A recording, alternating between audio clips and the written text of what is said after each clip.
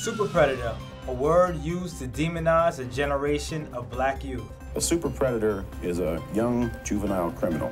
A toxic myth that turned juveniles into targets for national leaders on both ends of the political spectrum. I would say to, to juveniles, there are no violent offenses that are juvenile. They are not just gangs of kids anymore. They are often the kinds of kids that are called super predators. Today, we explore the roots of the term, how it came to falsely brand so many, and the role it played in bringing out harsher juvenile sentences in this country. All that and more on this episode of Inside Story. Welcome to Inside Story. I'm Lawrence Bartley, and unfortunately, I was incarcerated for 27 years. But since my release, I've been working with the Marshall Project covering criminal justice. It is our mission here at Inside Story to bring in depth coverage of criminal justice issues that matter most to you.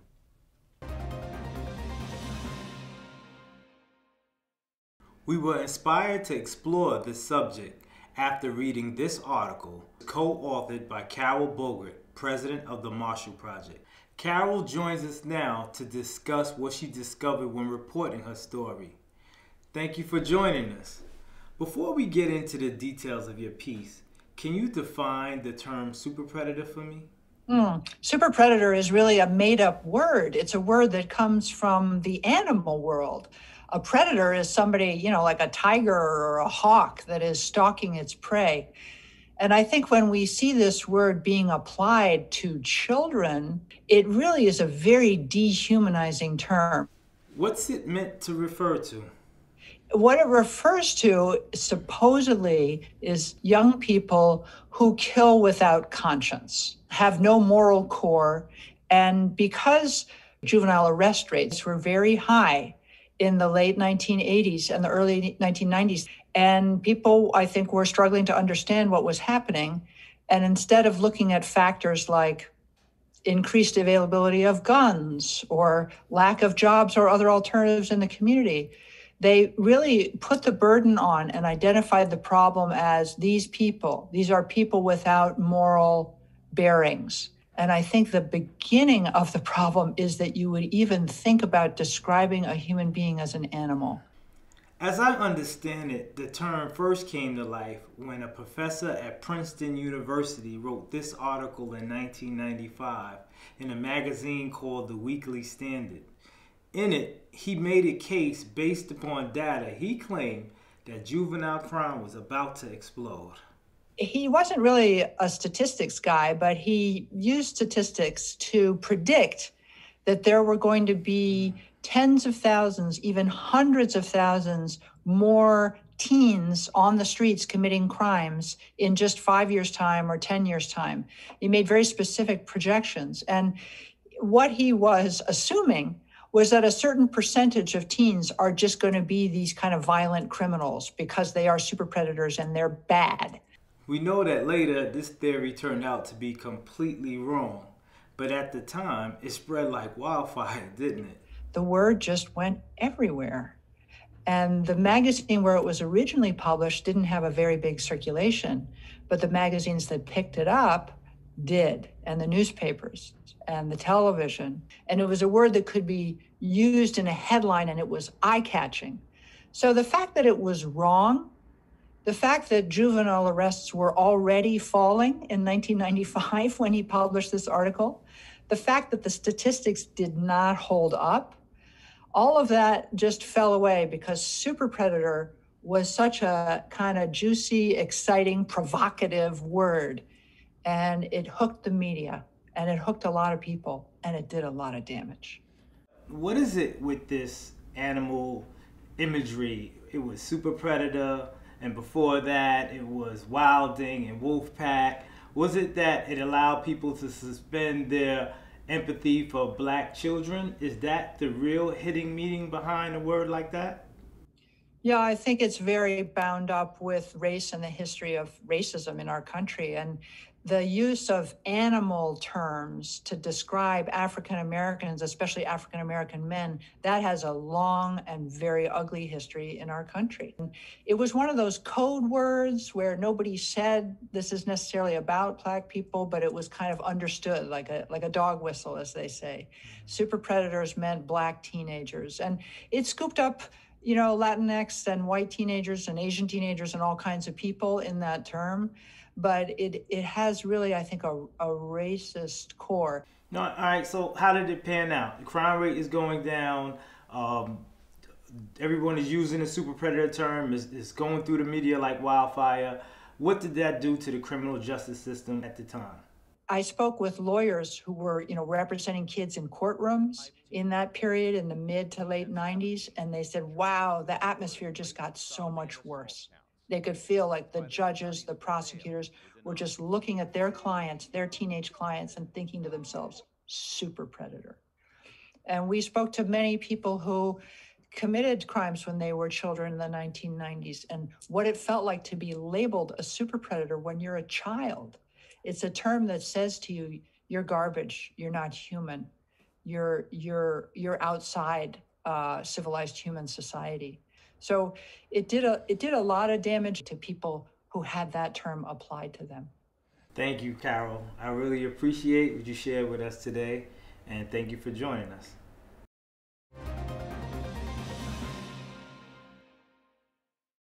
So many of those young people who are labeled super predators were coming from homes where they had already suffered a lot of trauma. A prime example of this is Catherine Jones, who was arrested at the age of 13 and sent to prison for nearly 20 years. She and her younger brother were molested throughout their childhood by a family member. After searching for help, Catherine came to the conclusion that their only way out would be to stop the abuse themselves. Were you ever called a super predator? Yes, I I remember Super Predator. The first um, time I heard that, I was walking into the detention center after I had booked in the rain, and everyone was sitting around a television, and my face is up there, and that was the label that was underneath there, and I remember already feeling like some type of caged animal, and um, little by little, those labels began to chip at my identity and those characteristics that I held dear for 13 years, which was a daughter, a sister, a, ne- a niece, a friend, a student. And um, slowly I began to wear those labels and become a product of, that, of those labels that were placed on me. I remember reading somewhere that you said when you were arrested, there were more media trucks there than police cars. What does that say mm-hmm. to you?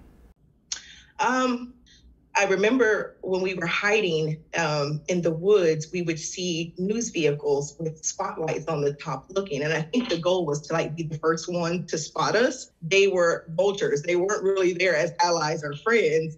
And they're screaming out all of these questions. And of course, my 13 year old brain is just overwhelmed because now they're separating me and my brother. They're putting him in one car and me in another. And I'm screaming for them to bring him back, not to take him away. And all of this is caught on camera. All of this is caught in the news. And once we came to the police station and were questioned and came out, they were aggressive to the point where they were their cameras were like right in our face, and you have the the two detectives like standing behind us like they were bringing out some type of prize trophy. And um, it was probably one of the most dehumanizing experiences of my life. There's a photo of you being walked into the court and you had handcuffs on. Can you tell us what's going through your 13 year old mind at that moment? That was actually the day that I took my plea bargain. And I was devastated because um, they had kicked my family out because my brother went in prior to me. And of course, there was outrage at the question being asked Did he understand that he had an 18 year sentence and life probation. So um, they had um, asked my family to leave. So when I came in, there was nobody there. And the full weight of what was about to happen, the fact that I was going to spend 18 years in prison, was overwhelming for me. Um, it caused me to have an emotional breakdown. And prior to that, I had done a good job of always having like a brave face because I always went to court with my brother and I wanted to be strong. And um, I seen the, you know, the newspaper articles that came out after my court appearance saying I was cold and calculated. And and once again, that was what their perception of the truth was. The truth was that I was trying to be strong for my sibling and for my family because I felt like I had caused all this pain and that showing strength and courage through it would help ease their burden of feeling like um, of being worried about me as a 13 year old inside of an adult jail. So they put you with the adults right away at 13 years old? Yes. It was like being forced into adulthood way before you want to. There was a part of me that was still this kid that wanted to be able to call my mom and dad and ask them to save me from this, right? That wanted me to be able um, to be held and loved, and all of those things were stripped away. And now I'm told that I can make my own legal decisions, even though I had no knowledge of the criminal justice system. Um, I'm told that I have to learn to nurture and care for myself, and um, being told that any of the trauma that I had experienced prior to that, there would be no resources. Like it all depended on me, which was a lot, which was more than any 13 year old should have to bear. So you've been out for five years now, and I know you had a lot of time to reflect on the label Super Predator and how it personally impacted you. I think, Lawrence, that the one thing that has to be very, very clear that this theory was one disproven and the the fact that there was you know there's these fearless godless fatherless monsters that are running around ready to terrorize your neighborhood wasn't real. The goal of it was to make it where we weren't children because if if we had to be honest and say these are 13 14 15 16 year old children that we're dealing with you can't justify um, treating them in such an inhumane way. So what do you say today to people who, who look at you and say well i still think she's a super predator what do you say today to those folks? Um, if you see me in Walmart with my two children, you would never know what my past was. You would never know that at 13 I had committed murder. You would see me as a mom wrestling with two toddlers to try to survive a Walmart shopping trip. I am a mother. I am a person. I am not remorseless. I think every day of the um, mistake that I made that cost someone their life, that deeply hurt a, another family beyond, I can't even put into words the ramifications of what I did. But because I had that second chance to come out here, I get to live out a life of eternal apology because I had that chance. I had a release date, and there's so many people that don't, that deserve it because how else will they will justice happen? How can they make amends to the society and the community and the families that they hurt? And so um, now i advocate for that. And that's what i am a mom and an advocate for other kids like me that don't deserve to die in prison that don't deserve to spend the best years of their life when we have the ability as a society to, to help rehabilitate and heal these children instead of punishing them and, and deeming them worthless Thank you, Catherine. It was such a pleasure having you to be a guest on our oh. show today. Thank you. Thank you so much, Lawrence.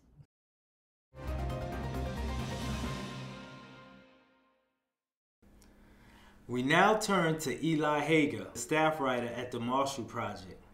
Eli, this term super predator was first conceived of 25 years ago. What can you tell us about its impact on the juvenile criminal justice system? I think the term definitely has impact, but more broadly than the term itself is an attitude toward Black kids and Brown kids that's existed in the juvenile justice system since long before that term was invented. So, even though the term was invented in 1995, you're saying that the country had already began to treat juveniles harshly, and the term simply described a mindset that was already there? Yeah, that's how I would put it. I mean, I think all through the 70s and 80s and early 90s, that's when states were passing laws that were much tougher on juveniles, um, allowing kids as young as 13 uh, to be tried as adults with adult consequences and adult prison sentences. And then in 1995, that term super predator was coined, um, and it just made things worse. But is it fair to say that the term super predator had paved the way for harsher treatment of juveniles in this country? So, uh, certainly it has. Um, we know from our reporting uh, at the Marshall Project that after that term was used, judges and prosecutors were more likely to sentence kids, especially kids of color, harshly. And that often was because judges and prosecutors view Black kids as being older than they are, um, according to psychological research. Um, they see a 14 year old Black child and they think the person is older and more culpable of crime than a white 14 year old. And that all arose out of seeing kids as super predators, which is obviously a, a false concept. What do you say to people who might believe that all this talk of racism and the unfair treatment of juveniles misses the point? Some black kids committed horrible crimes and their victims deserve justice.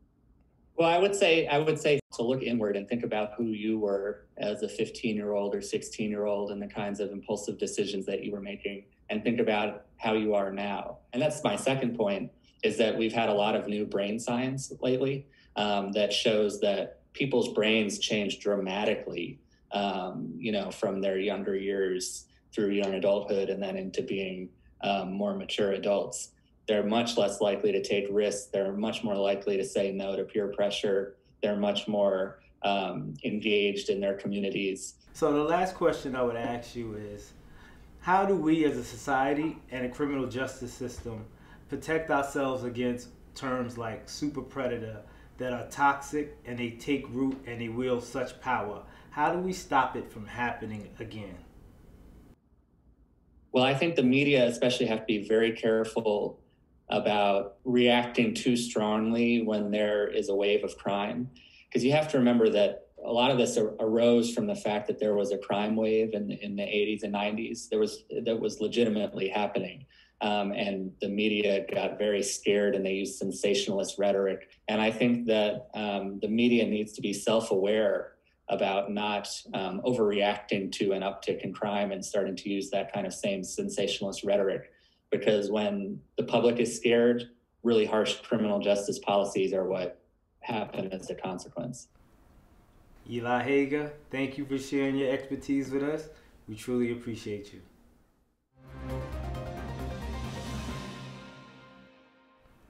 Super predator, the word partially responsible for the harsh sentencing of black children. I am no stranger to harsh sentences. I received one myself as a member of the young generation used to give birth to the term.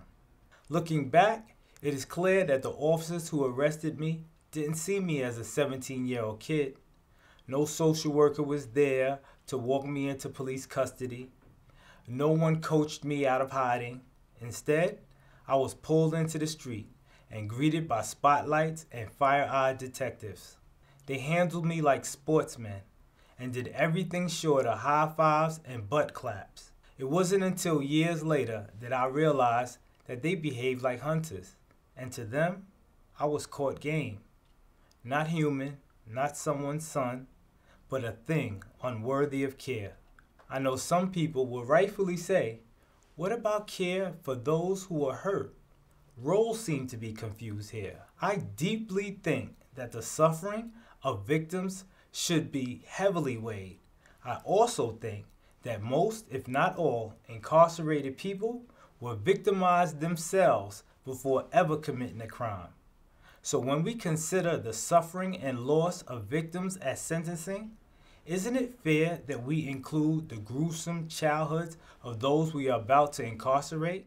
Years after John DiIulio invented the term super predator, he disavowed it. He even sent a special statement to the U.S. Supreme Court encouraging juvenile justice reform. But there are still thousands of kids whose lives and future generations will forever be hampered by the power and reach of his fable. And to them I say, your humanity may be attacked, defaced, and cruelly ignored, but it can never be taken away unless it is surrendered.